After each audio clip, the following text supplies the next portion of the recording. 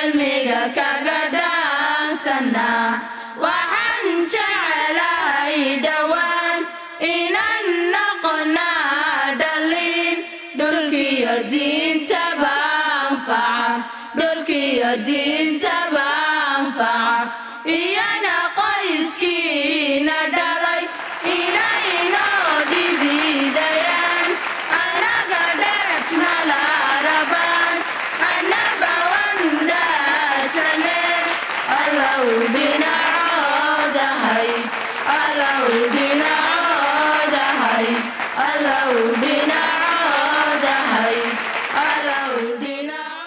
tiradii ugu faraha badneed ee soo dhammaysata akhriska igaada luuqadda carabiga islamarkaana noqonaysa dufcaddii afraad ee markaska maa'ida.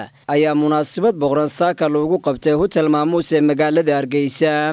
Ardaydan oo soo dhammaystay muddo aad u koobana ku soo dhammaystay akhriska igaada luuqadda carabiga ayaa munaasabadii loo qabtay. Waxaa ka soo qayb galay culimaaudiin waxgarad aqoon-yaano waalidiin iyo ardayda kala duwan ee ka cilmi qaata.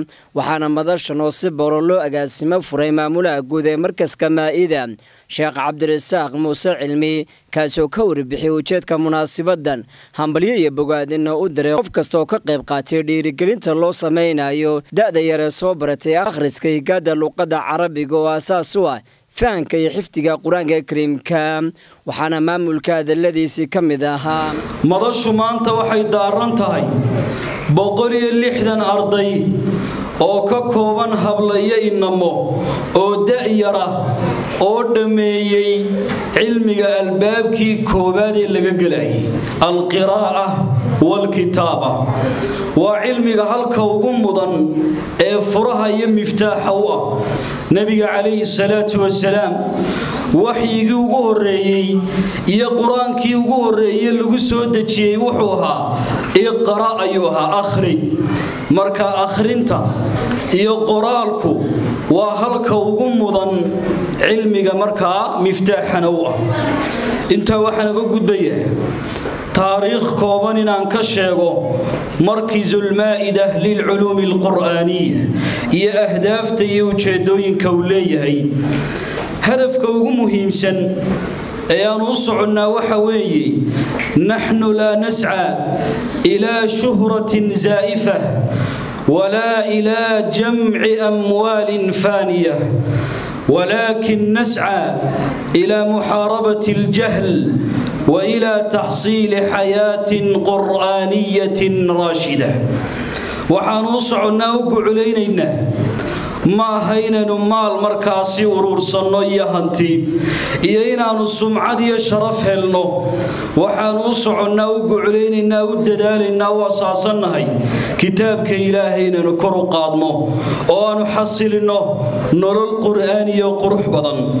Markisulmaa'ida lilculuumi alqur'aaniya waxa la asaasay taariikhdu markay ahayd saddexdii bishii tobnaad laba kun iyo labaatan. Maanta cimriga iyo da-da markiisku waxa weeye waa saddex sano iyo sagaal bilood. Waxa uu ka kooban yahay sagaal iyo toban galaas waxaa ka howlgala sagaal iyo toban macallin iyo macallimadood. Idaarada iyo maamulka markiisku lix qof ayuu ka kooban yahay marka laysku wada geeyo howlwadannada ka howlgala markiisulmaa'ida waa siddeed iyo labaatan qof oo iskugu jira maamul iyo macallin iyo shaqaalo hoosaad intaba. Furuucda iyo qaybaha markiisku uu ka kooban yahay iyo laamihiisu waa saddex farac ardayda guud ahaan waxaa dhigta siddeed boqol iyo sagaal iyo lixdan arday. Waxaanu si majaana ugu dhignaa oo ilaahay dartii oo bilaasha laba boqol iyo siddeed arday ayaanu ilaahay dartii ugu dhignaa oo iskugu jira danyar iyo agoomo iyo dad kale oo bixin kari waayey fiiga iyo mushaharka dadka laga qaado dufcadaha ka qalinjabiyey dhinaca higaadda qoraalka iyo akhrisku waa afar dufcadood oo dufcaddani waa tii afraad waa boqol iyo lixdan arday oo iskugu jira hablo iyo inamo marka laysku wada geeya ardayda ka qalinjabiyey qoraalka iyo akhriska muddadaa markiisku uu jiray waa afar boqol iyo labiyo lixdan arday oo iskugu jira hablo iyo inamo ardayda qur'aanka ka xifdiyey markiiska intaa uu jiray waa koob iyo toddobaatan arday intii hore markaasi loo saaray. Waxaa ka mid a afar arday oo iyagu maanta markiiska ka howlgala oo macallimiinka ah. Dufcadihii qur'aanka qalin jabiyey afar arday oo ka midi maanta waa macallimiin markiiska ka howlgala qaarna waaba idaarada iyo maamulka dufcadda labaad ee qur'aanka waxaanu qaban doonaa dhowaan bisha sagaalaad. Biidnillaahi tacaala haddii ilaahay nagu simo waxa qur'aanka ka qalin jabin doona dufcaddaa soo socota.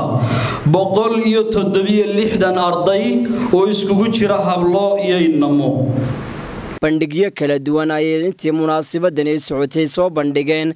Ardayda xufaadda iyo weliba ardayda kala duwan ee ka cilmi qaata markaska maa'ida. Waxaana ardaydani bandhig aqooneedkoodii ka mid ahaa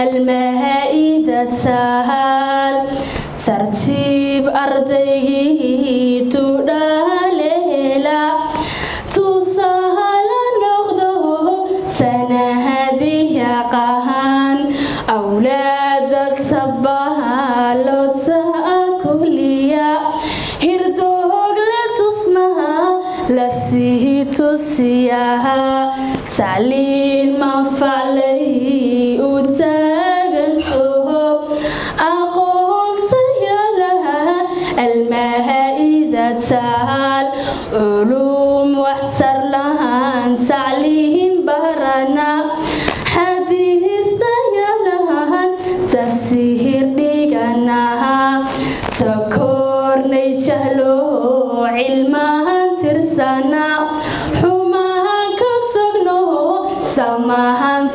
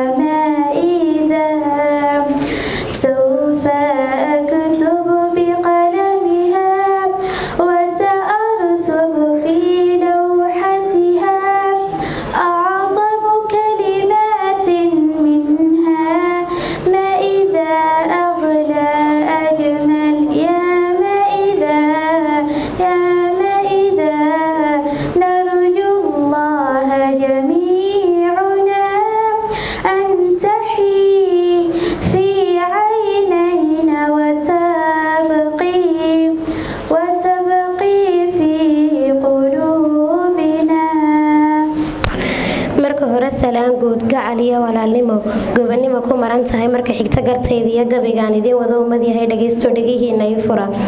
Almaa'ido dhalaan u dhaqaaqay oo bara dhowrsanaa dhaqso u higaad dhihid iyo bayaan dhigis iyo qoraal ugu dhaashiyo dhaldhalaalaya ay la garan dhambaal. Luuqad aan dhaliil taariikh dhan qalan dhan madow lahayn afdhaban sida mid la garab dhigiyo la helin dhigi oon dhagax ahayn una dhalan adayg dhaqso loo barto dhigashada culays laga marin dhibaad. Afdhaban sida carabaa la dhahaa mana dheehataan ma dhawaysataan. Waxa dheef ku jira uma dhaadhacdaan dhandhansiga macaan kuma sii dhegtaan.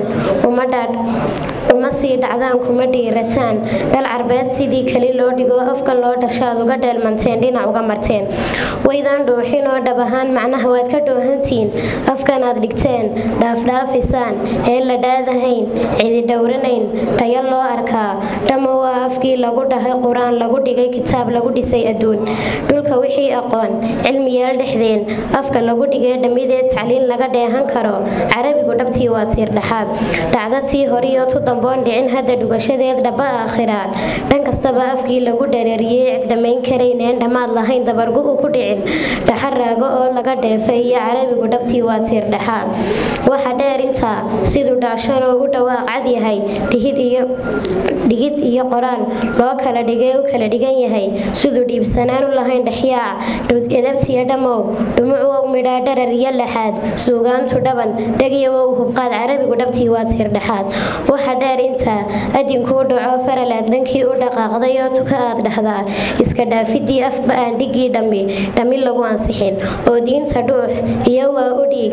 Adhax iyo lafdhabar dhigihiyo alool dhiskii aan lahayn dhan u liicaya carabigu dhabtii waa tiir dhexaad kol hadduu dhabtii igu labaa dhimirkiiyo xiskii yahay dhaayihii dhufaysiiga gabood iiga dhigan yahoo dhaxantira hugiyo afku dhaqan ahaa carabiga dhammow dhaqsa waa inaan ugu dhiiranaa dadka wada dhigtoo barta aan dhahnaa hormuudka iyo waaba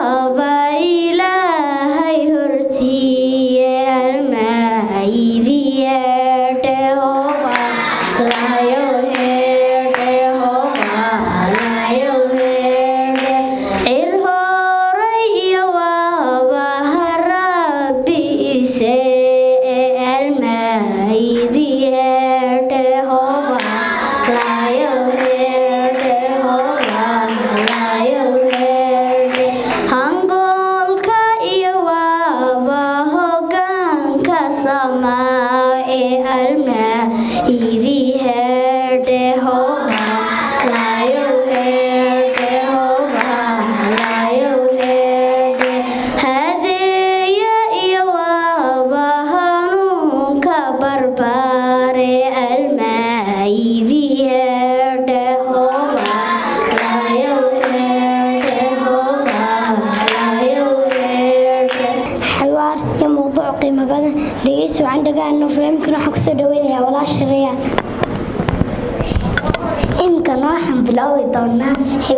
Wanaagsanaa si wanaagsan noo dhegaystaan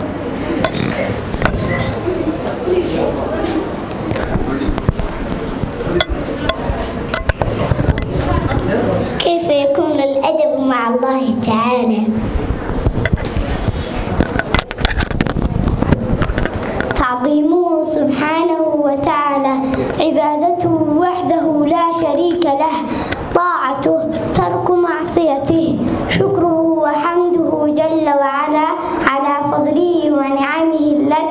تحصى والصبر على أقداره.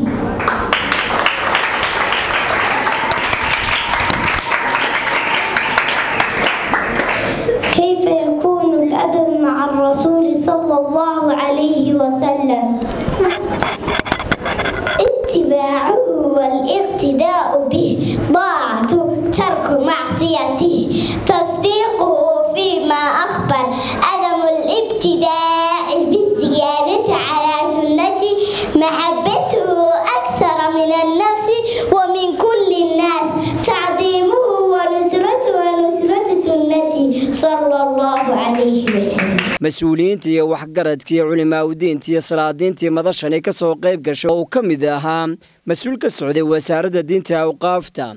Iyo weliba waxgarad aan la soo koobi karin xildhibaano ayaa kelmado munaasib ku ah ka soo jeediyey intii munaasibaddu socotay.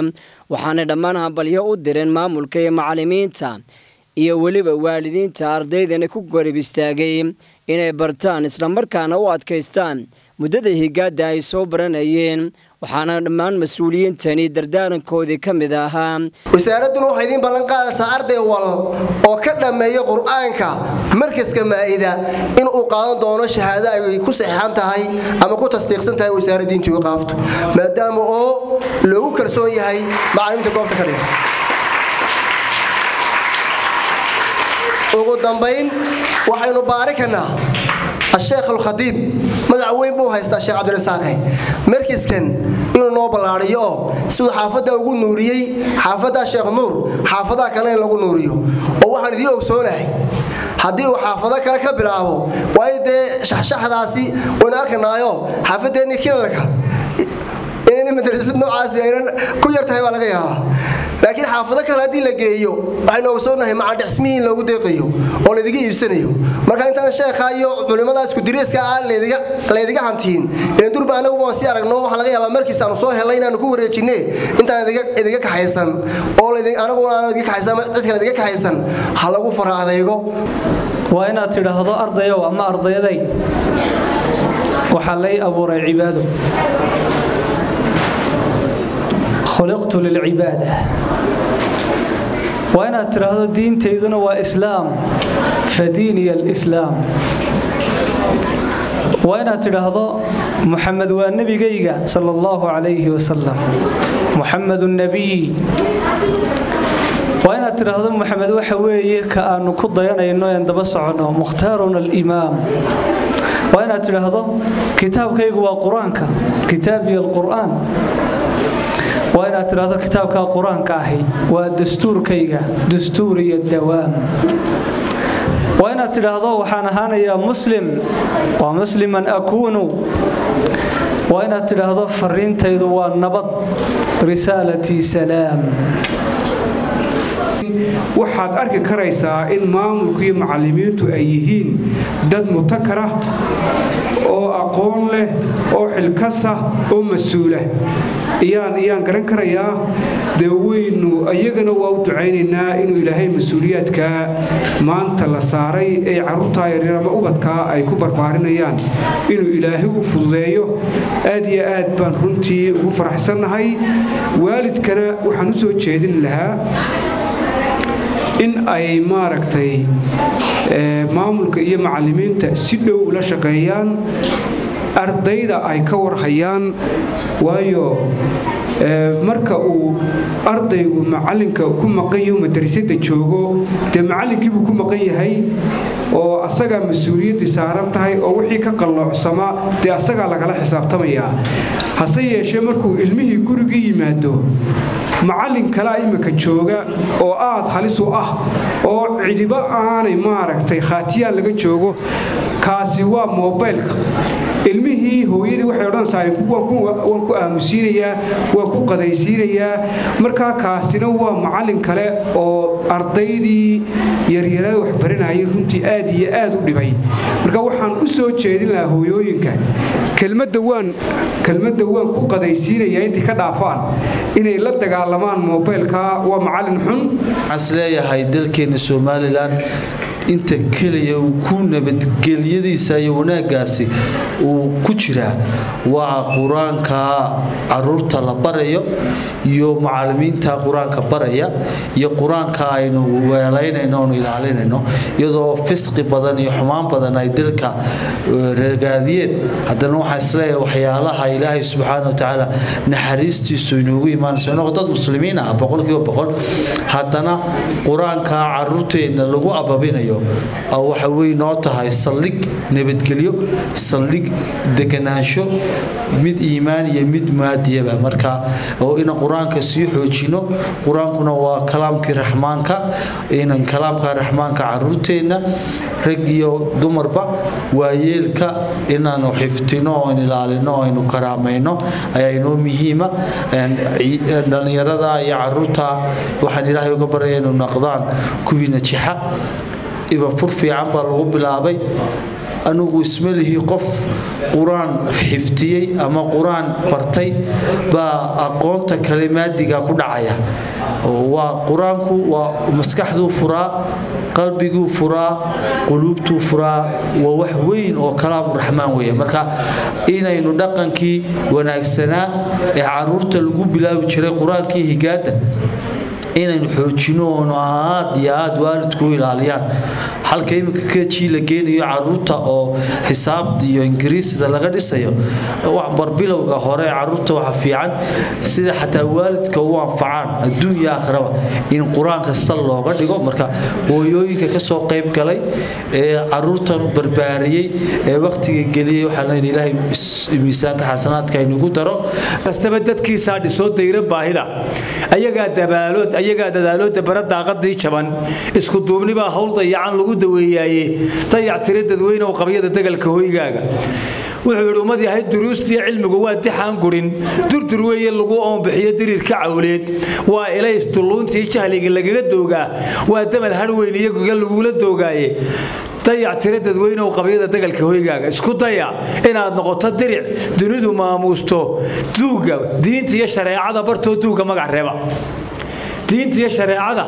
Bartoo duuga magac reeba ha ku dayan sakhraan daasad leh iyo dooxa kuwa jooga. Ha ku dayan ibliis tawriya iyo dabiya reerlaawe isku daya inaad noqoto diric. Dunidu mee reebto isku daya diinta iyo shareecada bartoo duuga magac reeba asalaamu calaykum waraxmatullahi wabarakaatu odayaasha salaadiinta haweenka waalidiinta dhallinyarada hablaha inamada saxaafadda ciddii kale ee aan ilaabo waxaan idinku salaamayaa salaamta islaamka.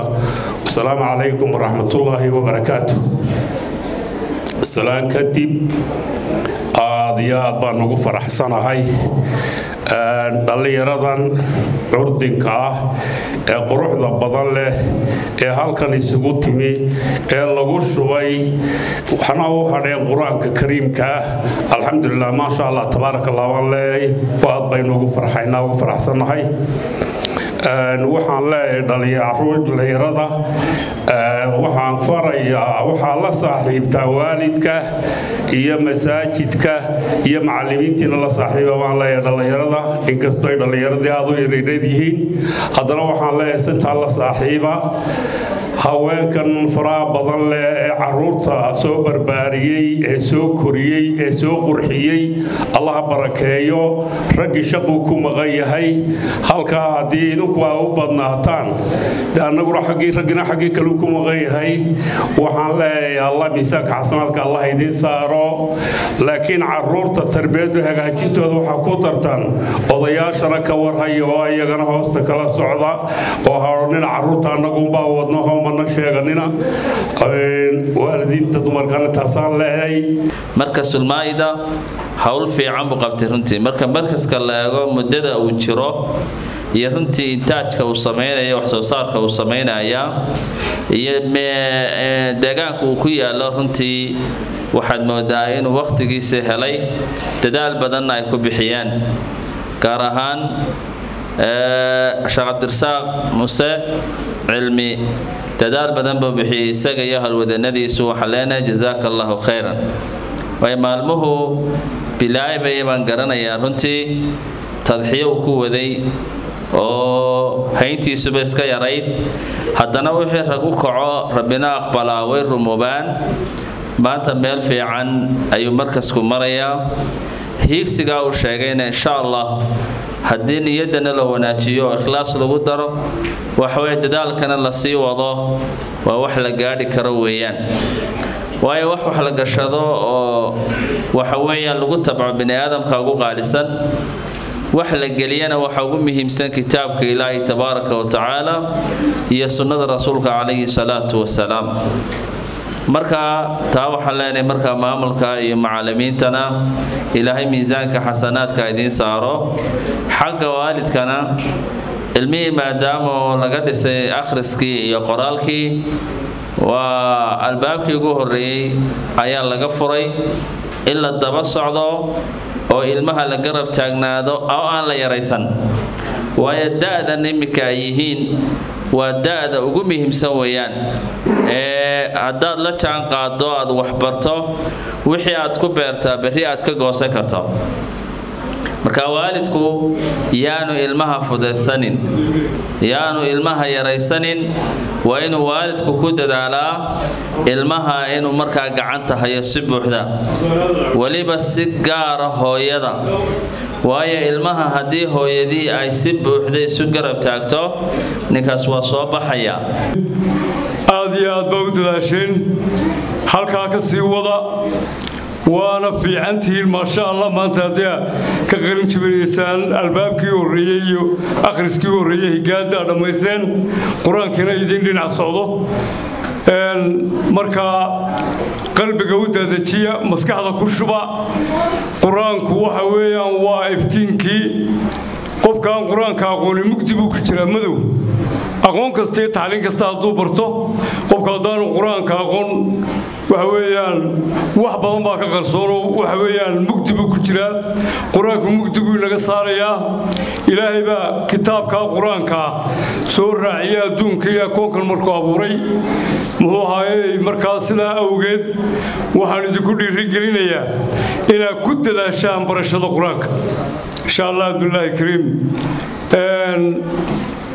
muxuu ahaa wuxuu ma raacinaya in yaroo ducaa ilaahow dikrigaagiyo ayaantaa fadligeeda udgoonoo nebigii iyo ambayaashii dhammaan iyo afartii khulufaad iyo asxaabtii ka sawaabay ilaahow waxaadkaaga iyo isamkaaga cudooniyo awooddaada korraysiyo ducadaan erkanayno intii raacday rasuulka iyo ansaartii ka sawaabay.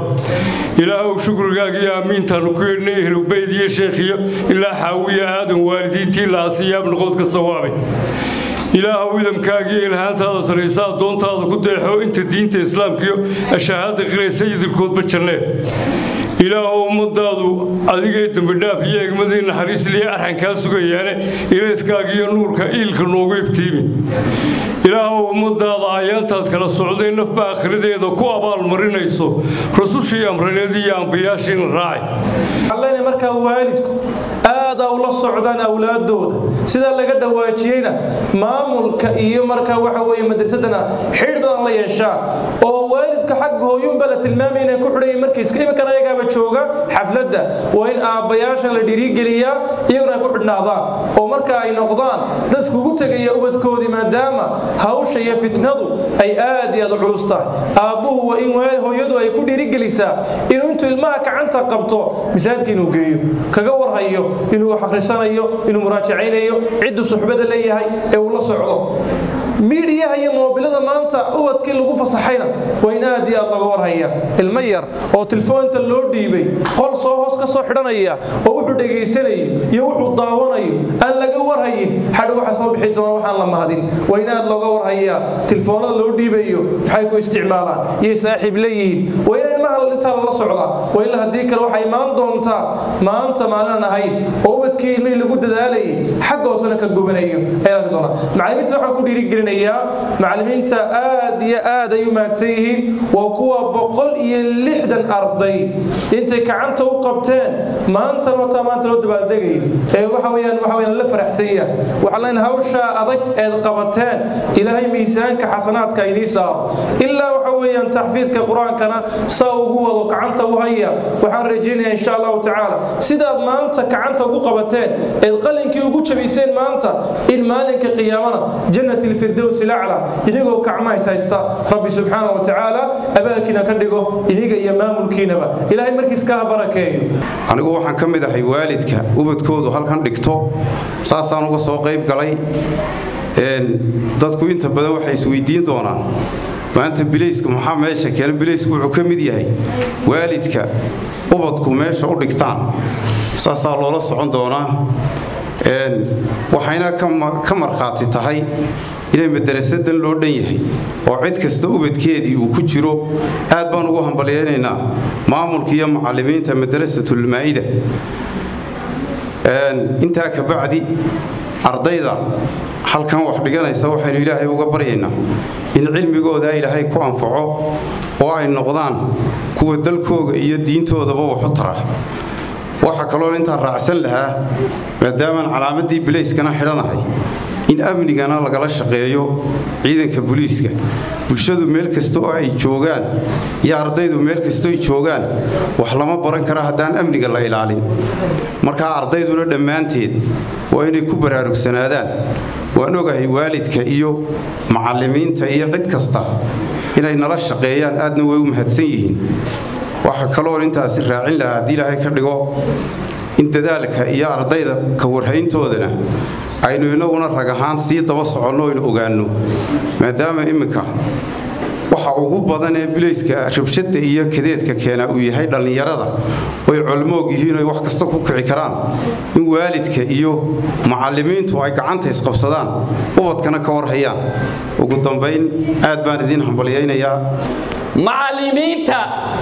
iyo maamulka iyo ardayda iyo waalidka sharfan ee ubaxaasi maanta u soo go'een ee midhahaa goosanaya ayay mahad u sugnaatay. Ilaahay haydin kadbo. Waxa xaqiiqa dadka qaar dadkoodu markuu soo baxo way ku indhadoogsanayaan oo way farxayaan dadka qaarna markuu dadkoodu halaagsamo way ooyayaan oo way ilmaynayaan. Kuwii farxa allah inaga wada dhigo. Walaalayaal hadalka iyo waanada iyo talada culimmadaa dhammaysayo waa yeelkii waxaan ku soo gebagabaynayaa siduu maamuluhu ii sheegay dugsiga midhahaasi ka soo go'een walaalayaal wuxuu ii sheegay inuu kure ku jiro oo bishii lacagta ka soo baxda ay gebigeedu kire u xarooto waxaan leeyahay war hal waalida oo maanta loo duceeyo oo balloodhka u horreeya bixinaya baa maydinku jira? Annaguna waan dhisaynaaye bal hadda gacanta taag. Allahu akbar allahu akbar ilaahay waxaan ka codsanayaa ilaahay inuu oorida jannada geliyo. War amindha haddee waalidka waxaan leeyahay kelmad baan doonayaa inaan intaa mahadnaqa waalidka markaan dhaafo inaan waalidka xaggan fariin yar uga faa'iidaysto waalidow si ubadkaaga imika aad ugu tacabtay ay u sii socdaan waxaa lagaaga baahan yahay inaad mar walba u ducayso. Oo mar walba garab istaagto. Oo mar walba aanad hayaanku hayaanka waxbarashadu maanta akhriska iyo qoraalka ay barteen. Hadhowna way sii soconayaan oo kitaabkii ilaahay inay xifdiyaan bay doonayaan oo sunnii rasuulka ay bartaan bay doonayaan. Taasi waa hayaan dheer. Waalidka waxaan halkan fariin ugu dirayaa hayaankaa dheeri. Wuxuu u baahan yahay wakhti badan samir badan dulqaad badan. Taana waxaa leeyahay waalidow ubadkiina sida aad maantaba xafladeed iyo fooleedkeeda aad u joogtaan ilaahay idankiisa waxaa rajaynayaa iyagoo kitaabka ilaahay xifdiyeyna inaad u garab joogtaan waalidka fariinu baan doonaya inaan halkan kale u sii mariyo oo ah waalidow si ardayga quruxdiisa iyo sharaftiisu aad u ogaato adigu waxbaro waalidka wax yaqaana iyo waalidka aan akhriska iyo qoraalku ku adag yahay ubadkoodu way kala duwan yihiin farqi weyn weyn weyn baa u dhexeeya macallimiintaana dareema marka ardayga guriga hooyadii ama aabihii wax akhriska garanaya ardaygiisii casharku soo dhigtay u marinaya caawinaya. Macallinkaasi dhibaato iyo hawl kama arko. Laakiin haddii ay hooyadu ama aabbuhu walaw yaryihiinba xafladda haddana hooyooyinkaa doonayna fariintaa ka uga faa'iideeyeen ubadkaaga haddaad doonaysa inay midhahaasi midho wax tan la noqdaan adugu wax baro oo markiiskana ka faa'iidaysta gabagabadii munaasabadani markii la soo gaadhay waxaa la maamusay boqol iyo lixdanka arday ee soo dhammaystay akhriskaada luqadda carabiga halka si gaara loosii maamusay labiyo tobankii arday ee isku qabsaday kaalmaha ugu horreeya maamulka ayaa ku maamusay hadiday weliba jawaais aad u qaaliya dhanka kale waalidiinta iyo ardayda kala duwan ayaa sidoo kale maamusay. Maamulkoodii weliba macallimiintoodii jaaliga ka soo saaray. Hiibsanayaan warbaahinta nolosha islaamka. Hargeysa ma doonaysaa inaad ka mid noqoto warbaahinta nolosha islaamka islamarkaanaad hesho muxaadaraad iyo weliba barnaamijyo diin iyo aakhiradaada ku xasuusinaya warbaahinta nolosha islaamku waa warbaahin ka shaqaysa arrimaha dacwadda islamarkaana leh adeegyada baraha bulshada. Moobeelkaaga gacanta ayaad kala socon doontaa warbaahinta nolosha islaamka. Fadlan ka mid noqo warbaahinta nolosha islaamka. Haddaba waxaad ku xidhnaataa adeegyadeeda baraha bulshada sida facebooka tiktoka twitterka youtubeka انستغرامك.